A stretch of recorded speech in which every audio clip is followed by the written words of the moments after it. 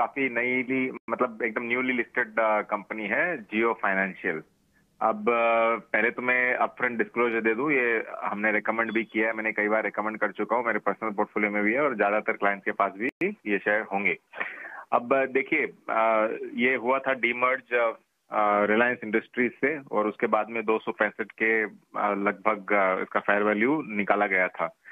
लेकिन उसके बाद में जो पैसिव फंड्स का सेलिंग था, उसके कारण स्टॉक काफ़ी दबाव में आके करीबन 202 जाके, अब जाके ये आज स्टेबल हुआ क्योंकि आज ये सेंसेक्स फंड और सब फंड से बाहर निकल चुका है। तो सेलिंग जो फंड्स की चल रही थी, वो इसमें अब थम गई है। दूसरी चीज़ इसमें जो पॉजिटिव डेवलपमेंट होगा, मुझे लग रहा है कि मे बी बाई मंडे ये टी टू टी से भी निकल जाएगा और एक बार वो निकल जाता है तो हो सकता है कि ये 20 परसेंट के सर्किट के लिए अलाउ हो जाएगा एक्सचेंजेस पे।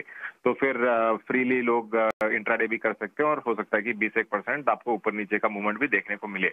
अब अगर वैल्यूएशन की बात करूँ तो देखिए, दिग्गज कंपनी है ये आगे चल के कई एनबीएफसी और फाइनेंसिंग कंपनीज़ को ये फाइनेंस करने वाली है। ये पक्का है इसमें।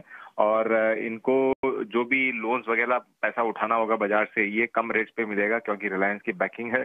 और तीसरी चीज़ जो आज हम लोग कंपेयर करते हैं बजाज फाइनेंस से, उसके मुकाबले ये ऑलमोस्ट एक तिहाई वैल्यूएशन पे अवेलेबल है।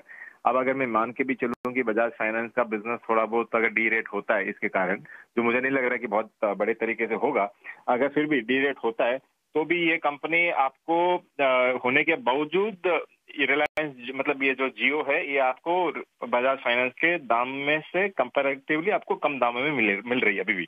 तो मुझे लग रहा है कि दो तीन सौ रुपए टारगेट के लिए इसको पक्का लिया जा सकता है इन भाव में भी। आज ऑलमोस्ट अपर सर्किट पे और लकीली अवेलेबल है अभी भी। तो यहाँ पे अगर लेते हैं तो 300 तो लगभग मिल जाना चाहिए अगले छह महीने के अंदर।